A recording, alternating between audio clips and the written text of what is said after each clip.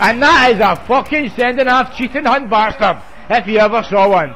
If in doubt, cheat your way out. Look at this. You bastard. Get two foot.